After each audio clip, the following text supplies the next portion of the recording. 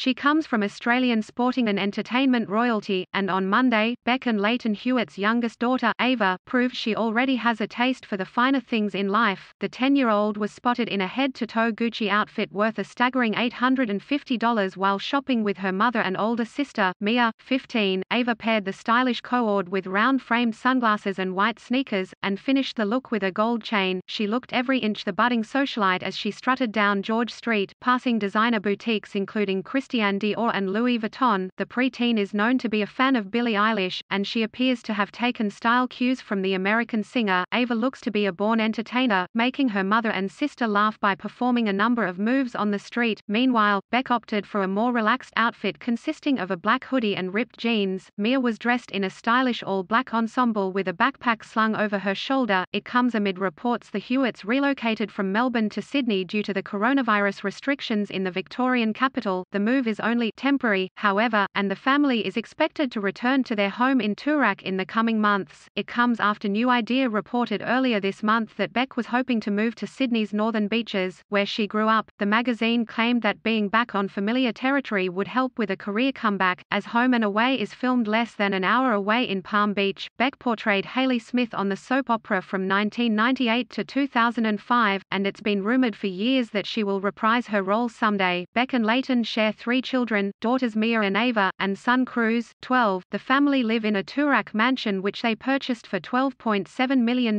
back in April 2017. They previously resided in the Bahamas.